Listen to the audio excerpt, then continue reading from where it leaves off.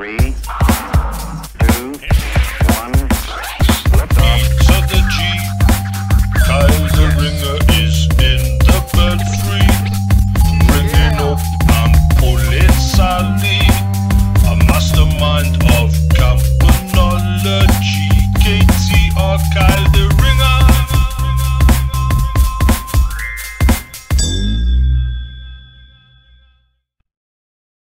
Swinging guys, it's Kyle doing it. Today we're in the belfry bit of Barrow Town O'Clock.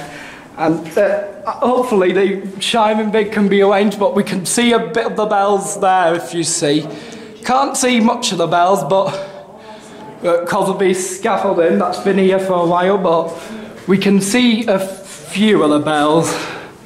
So we've got this one here, and I think that one's the hour bell underneath me.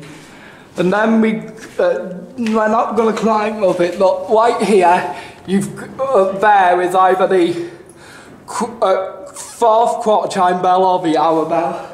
So I'll leave this for the, uh, lo- uh, the belfry bit. So if you enjoyed, please subscribe for future content. Until next time, ring out. Thank